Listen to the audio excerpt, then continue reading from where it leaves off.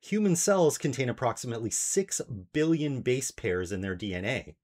If all of the DNA was copied sequentially at a rate of one nucleotide per second, the cell would require 190 years to finish.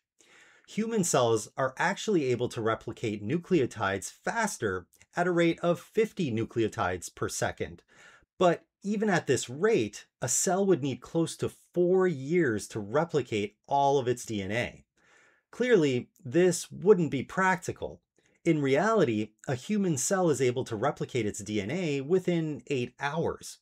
How is a cell able to accomplish this task so quickly?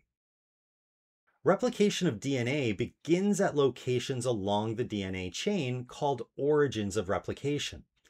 A bacterial cell may have just one origin of replication, but its DNA is simple enough and its replication process is fast enough, about 10 times faster than human cells, that it can complete its entire replication within 40 minutes. Human DNA has between 30,000 and 50,000 origins of replication, which allows for multiple replication processes to occur in parallel, which significantly improves the replication speed. Replication stops when two replication forks meet or when the end of a chromosome is reached.